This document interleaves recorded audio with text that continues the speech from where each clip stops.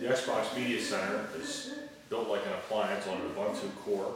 It's running on a Revo sixteen hundred, It has HDMI out. Uh, you pull your audio out of the HDMI, that's your only port. This is the user interface.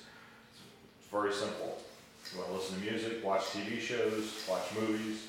When you wanna watch movies, it use, it, uh, works with Media Info Plus, which works on the server to download all the rich content from the TV database as well as the Internet Movie Database.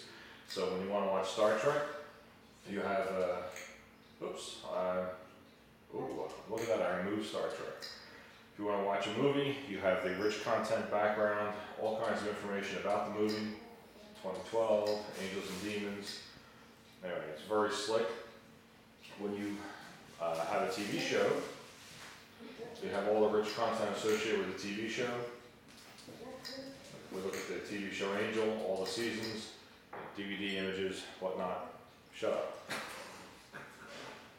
Anyway, um, so, well, let's look at what the hard, look look at what the device looks like.